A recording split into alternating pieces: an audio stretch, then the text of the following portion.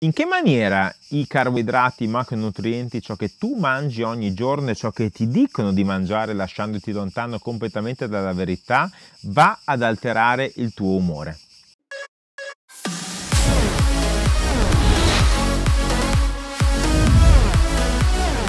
In forma senza fitness, il primo canale YouTube che ti permette di essere in forma senza essere più costretto a mettere il fitness al centro della tua vita.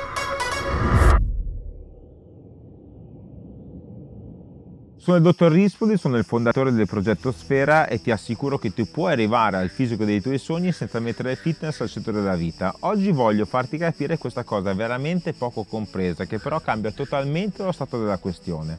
Torniamo un attimo alle basi. Cosa ti dicono tutti i giorni? Devi comunque per dimagrire devi togliere un, un aspetto calorico, devi andare propriamente a abbassare i carboidrati, ti devi privare di certi tipi di situazioni e quello che ne consegue lo sappiamo tutti, che tutte le persone vengono nel mio percorso e sanno già che hanno fatto questo tipo di percorso, quindi che hanno già avuto un deficit calorico, hanno già avuto una dieta, hanno già seguito nutrizionisti, dietologi, qualunque altro tipo di falso guru che non gli permette di arrivare al, al, suo obiettivo ma solamente gli do una frustrazione e si vince dal fatto che un sacco di persone mi dicono questa cosa ogni singolo giorno, non proprio a me ma ai miei collaboratori.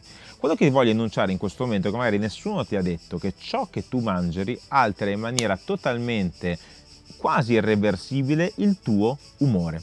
Che cos'è il tuo umore? È la percezione della tua realtà in base a un dato comportamento in base a un dato ambiente. Tu sei euforico o maledettamente depresso in base a ciò che tu, come vedi, la tua realtà. Come vedi il tuo ambiente che ti circonda e chi ci sta dentro ti rende immancabilmente stra-euforico oppure depresso. Questa cosa non esiste, ma è la tua percezione di questa situazione che ti fa vedere o in un modo o in un altro, secondo quello che è il carattere di ogni persona. Come però i zuccheri, i macronutrienti, gli omega 3 e il propriamente fare la dieta altera questo tipo di situazione? Beh, voglio parlarvi di tre situazioni. La prima per quanto riguarda ovviamente gli zuccheri, quindi ad alto indice glicemico, la seconda per quanto riguarda i grassi e gli omega 3, la terza per quanto riguarda il vero e proprio concetto di dieta. Allora, Incominciamo dai primi due perché il terzo è un po' più corposo come argomento.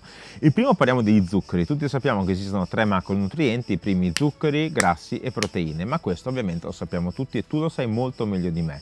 Ciò che però nessuno ti ha detto è questa situazione. Allora, gli zuccheri Molte persone demonizzano gli zuccheri e dicono che non tu non li debba mangiare per dimagrire. Chi è nel mio percorso sa molto bene che alla sera si mangiano carboidrati, non è assolutamente detto che tu la mattina debba fare una colazione propriamente glucidica e questi falsi miti sono già stati scardinati da tempo. Però se è la prima volta che mi segui oppure se ancora non sei nel mio percorso, ovviamente datti una mossa, però giustamente è giusto che tu debba conoscere un certo tipo di situazione.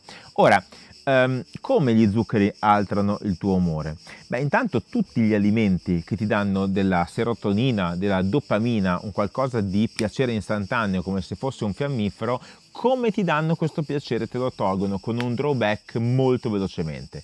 Quindi passi da alterazione dell'umore, da euforia a veri e propri stati di ansia e depressione. Questa cosa può dare uso a eh, binge eating, fame nervosa, quindi ti costringe a mangiare da solo, di notte fermo e quindi non sapere neanche quello che hai mangiato per ritrovarsi in una completa insulino resistenza un po' diciamo acquoso e a fare un effetto yo-yo, un circolo vizioso perché il giorno dopo cerchi di mangiare meno e vai eterocarbo. Tutto questo è totalmente sbagliato e lo sappiamo già molto bene, io tutti i giorni parlo di queste situazioni in diretta perché un sacco di persone me lo chiedono tutti i giorni di dirlo ed è quasi destino che oggi sia qui a fare anche questo video. Quello che noi dobbiamo capire è questo, che tu sei una persona che sicuramente vuoi arrivare al tuo obiettivo, sei una persona che ha già fatto di tutto e proprio per questo ti voglio esprimere questo tipo di concetto. Togliendo gli zuccheri, quindi dici ok, cosa faccio? Tolgo gli zuccheri e dimagrisco, questo è il grande problema di fondo. Togliendo gli zuccheri automaticamente cosa succede? Vai in uno stato di ipoglicemia perché non lo sai fare, nessuno ti ha spiegato come farlo e immediatamente ti trovi a mangiare troppo e quindi tagli, non sai come fare, pensi che sia solamente un discorso di indice glicemico, basta venire nel mio gruppo per capire immancabilmente che l'indice glicemico non, non, serve assolutamente a niente e quello che ne consegue è capire poi che questo stato di produzione di corpi chetonici che Ovviamente non vengono prodotti solo quando tu vai in uno stato di alterazione e vai verso la chetosi, ma vengono prodotti vita naturale durante, ringraziando il Dio dal tuo corpo anche in maniera abbondante. Però diciamo che questa alterazione data dai corpi chetonici provoca quasi una sorta di ubriacatura del tuo sangue e del tuo corpo che fa sì che tu abbia degli stati euforici dati appunto da questa ubriacatura come se avessi mangiato tanti carboidrati che prendono un drawback poi in depressione. L'ultima cosa da fare per persone che hanno ovviamente eh, dei problemi a livello alimentare, di binge eating, di bed e quanto è fame nervosa, è immediatamente, quindi qualunque tipo di patologia alimentare, è togliere i carboidrati in maniera continua, a zero, senza un perché. Altro discorso sulla parte dei grassi. Cattivo, un cattivo bilanciamento da parte degli omega 3 e gli omega 6 è troppo acido arachidonico, una dieta che tenda troppo al colesterolo, quindi parliamo di grassi in questo momento, okay? di lipidi, un altro macronutriente estremamente importante, fa sì che tu possa avere dei cali di memoria, dei deficit eh, cognitivi, una sorta di poca, non dico disturbi bipolari, perché un disturbo bipolare può essere dato anche una vera e propria mancanza di attenzione verso qualcosa, però non voglio essere così cattivo. Però a lungo andare avere un cattivo bilanciamento per quanto riguarda omega 6 e omega 3, quindi sulla qualità dei propri grassi, entrambi sono grassi ma hanno delle peculiarità completamente diverse, fa sì che tu possa immediatamente non essere conscio di riuscire ad arrivare al tuo obiettivo, ti vai a giudicare su quello che sono i tuoi errori, ma nessuno ti ha detto che ciò che stai mangiando stai inficiando il tuo non obiettivo con il tuo risultato completamente scadente. Arrivando al terzo punto, che è appunto il fattore dieta, si è dimostrato, degli studi scientifici hanno dimostrato questo, che quando io ho scritto il mio libro Mai più dieta, non l'ho scritto a caso perché non sapevo cosa fare e volevo un titolo clickbait affinché tu lo acquistassi. Questa cosa andata molto bene e ovviamente è best seller su Amazon, ma non sta a me a dirlo. Quello che io volevo è che la gente aprisse gli occhi se fosse così facile fare la dieta e fosse così semplice, tutti lo farebbero, tutti avrebbero risultati, non ci vorrebbe un coglione come me che scrivesse un libro. Quindi io non è che mi sono messo lì a scrivere un libro che non sapevo cosa fare, ho voluto solamente mettere in luce, mettere in atto il fatto che la dieta non funziona. Perché? Si è visto, questo è uno studio fatto sui topi, ma cavolo, io lo vedo tutti i giorni negli umani, che togliere gli alimenti negativi. Esempio, una persona viene da me, mangia solamente junk food o mangia propriamente molto junk food oppure non ha una corretta alimentazione. Per me sarebbe molto facile dire smetti di mangiare questo, mangia quell'altro, ma come io spiego nel mio libro abbiamo due fasi ok? Due fasi per quanto riguarda il cosa fare, ma nel corpo avvengono tre fasi. La prima è un, meccanismo di azione, la seconda è un meccanismo di protezione e la terza di sostenibilità, che racchiuso in un concetto molto più semplice vuol dire ciò che tu fai all'inizio deve essere sostenibile anche dopo, togliendo i meccanismi di protezione del corpo dalle omestasi. Questo è ti potresti anche segnare questa frase tranquillamente. Nel mio libro, mai più dietro, ho segnato 5 passaggi nella prima parte e 5 passaggi nella seconda parte. Solamente facendo la prima parte di passaggio, che cos'è? Allinearsi al fatto di voler fare una dieta. Tu non puoi arrivare, diciamo, che mangi solamente junk food, a togliere tutti i junk food e mangiare solamente alimenti sani, perché aveste le stesse problematiche di un drogato che cerca, poveretto, di distogliersi dalla assuefazione di agenti stupefacenti, quindi si vuole disintossicare. Andandosi a disintossicare in maniera troppo netta da un agente quasi patogeno come fosse il junk food a un agente perfetto come un alimento lean, immancabilmente hai gli stessi sintomi di um, carenza, quindi come un, come un Ehm, un drogato che magari ha degli aspetti di dipendenza cronica, sta male, quindi stai molto peggio rispetto a quello che credevi. Quanto puoi andare avanti? Uno, due, tre giorni e poi hai fatto io e poi torni indietro e poi non ce la fai e poi dai colpa a chi ti ha dato la dieta.